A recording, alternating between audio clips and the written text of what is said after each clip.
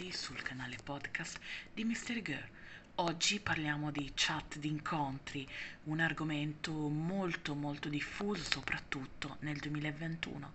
Non che le chat di incontri prima della pandemia non esistessero, ma ovviamente col fatto di dover stare chiusi in casa la cosa è aumentata. Come si conoscono persone se non posso uscire di casa?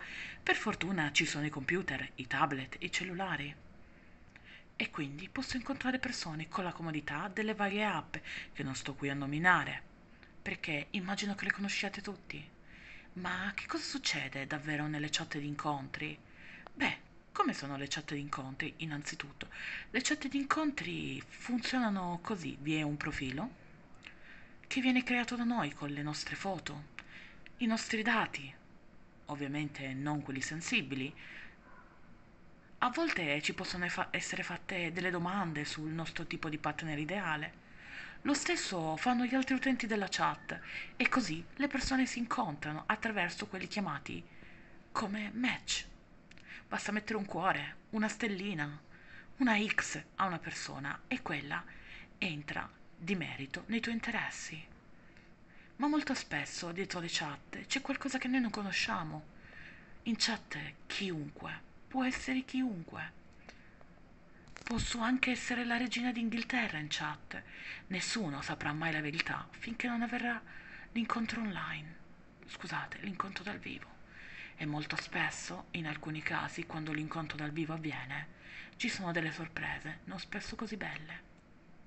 Io non voglio essere quella che mette in guardia le persone dalle chat di incontri nel modo più totale nel senso che io stessa ho inconosciuto il mio attuale ragazzo su una chat di incontri e sono molto contenta di essere andata quel giorno sulla chat e di averlo incontrato, ma ho conosciuto anche persone orribili, persone che mi hanno fatto del male ed è vero che una persona orribile la si può conoscere anche al bar o in qualsiasi altro luogo. Ma le chat di incontri possono essere più pericolose perché le persone possono dimostrarsi per qualcosa che non sono. Secondo me sono un metodo come un altro per conoscere persone.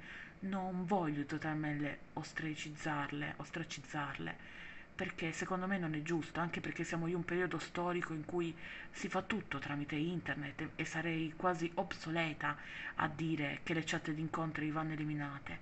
Ma bisogna prestare molta, molta attenzione, perché non si sa mai quello che c'è dietro queste cose, non si sa mai con chi stai parlando davvero.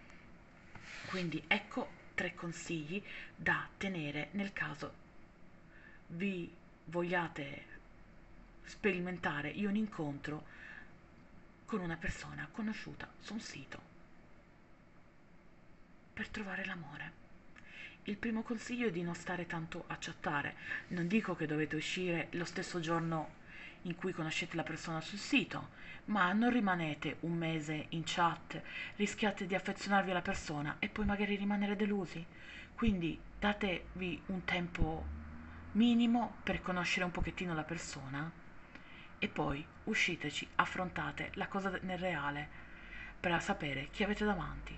Secondo consiglio molto importante, incontrate la persona in un luogo frequentato, che può essere un bar, un centro commerciale, un luogo dove ci sono altre persone, in modo che se la persona che avete davanti non è quella che immaginate, avete modo di chiedere aiuto. Terzo consiglio.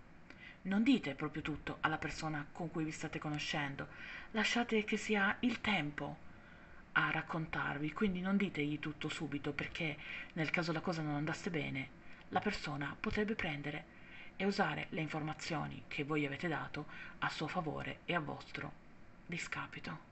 Questi erano tre consigli utili se decidete di incontrare delle persone sulle chat di incontri. Io che dico sempre alle ragazze, ma anche ai ragazzi, di stare attenti perché possono essere un buon metodo per trovare la persona della vita, ma anche un pessimo metodo.